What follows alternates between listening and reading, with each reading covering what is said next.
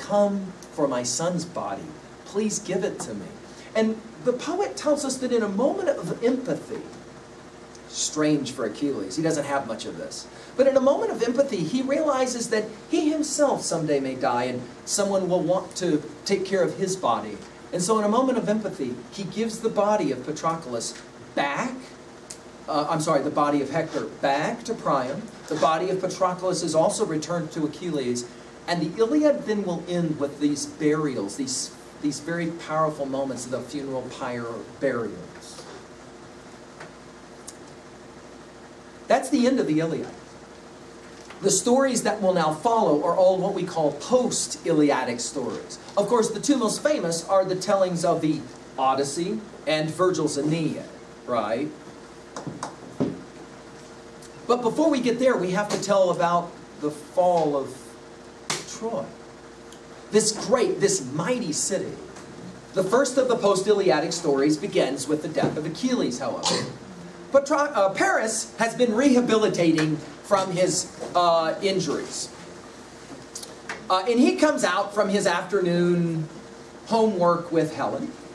And he takes a little walk along the uh, upper, you know, battlements. And, uh, you know, there's a soldier there. And he, hey, give me that, give me that bow and arrow set. I'm going to Paris shoots this arrow into the air. Uh, uh, let's point out, Achilles sees the arrow coming as he's seen thousands of arrows come. He doesn't even think about it.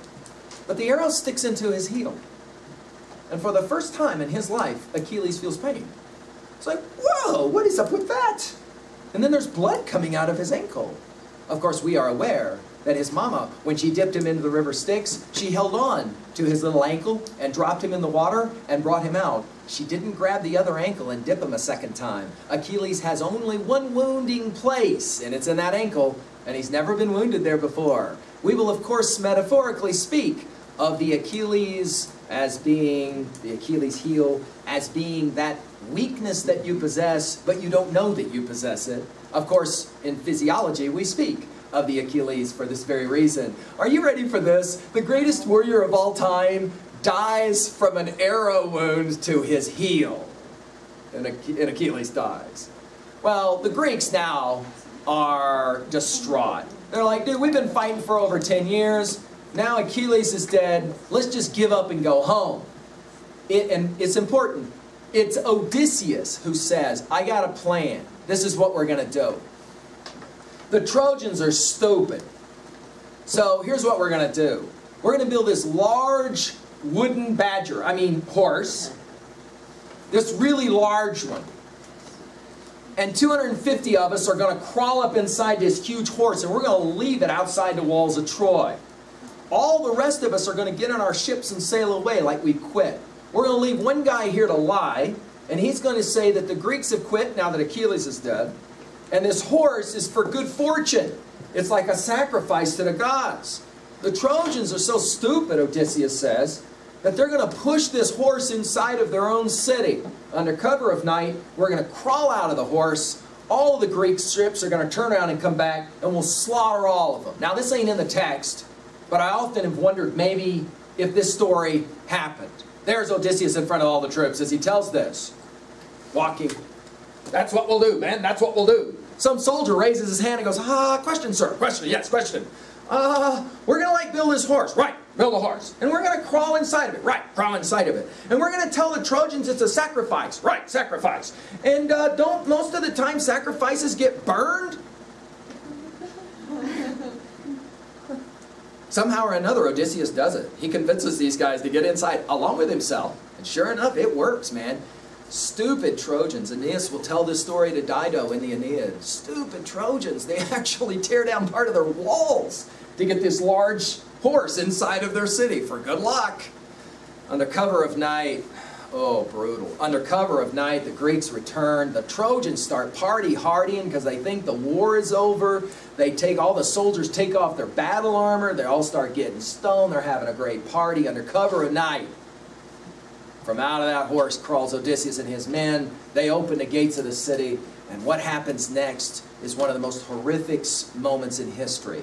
The slaughter of the people of Troy. The Greeks have been waiting for over 10 years to do this. So they get ready to just jack the ever terrible. They take young babies and throw them in the air and play catch with spears. They tear open the stomachs of pregnant women because they don't want the children to be born and grow up to fight against the Greeks. The streets run with blood, we're told. It's so horrific. King Priam, the king of Troy, realizes what's going on. He grabs his wife Hecuba and he says, come on, we got to get out of here. And he starts running through the city. The walls have been already, uh, the houses are already on fire, smoke everywhere, people screaming, and they're running through the city. And uh, Priam kind of loses his bearings, and he, uh, and all of a sudden he looks up, and there's this Greek warrior named Pyrrhus, we're told dressed in complete black armor. He's so enraged that his eyes are like red. For those of you who know Jimmy Cameron's uh, the uh, Terminator series, you know now where some of that came from. Red eyes, and he's covered in blood and guts, and he's got this huge sword, this big man, and he sees King Priam, and he screams at him, Priam! And Priam, like a rabbit, we're told, like a rabbit that's frightened, he turns and he takes Hecuba, his wife, and he starts running down a street. It's a dead-end street. He's got nowhere to go when Pyrrhus turns and starts walking down the street towards Priam. We're told Priam falls to his knees. Hecuba, his wife, standing behind him, she starts crying, weeping, and Pyrrhus walks up, Priam begging for his life. We're told that Pyrrhus looks at him with those red, enraged eyes. He raises his huge sword over his head and he brings it right down on top of the head of old man Priam. But right before he hits the skull, he stops. And the entire city of Troy, we're told, goes dead silent. And through the mind of King Priam, flashes of thought. Not Opu. Flashes of thought. A memory. Memory? What memory? What memory would old man Priam, king of Troy, have right before he gets jacked?